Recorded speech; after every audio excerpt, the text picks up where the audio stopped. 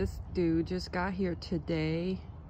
Uh, Monday, Martin Luther King is a holiday, so we went to pick him up and we tried to collar on him and see how, if it helps with the, the crawling. And he's just, he's just very, very new here. He's trying to get used to that. So that's a girl guinea fowl. Oh my gosh, he's still crawling. You might have to, you might have to be a soup now if you're still crowing, It's not helping. And then the guinea fowls, the ducks.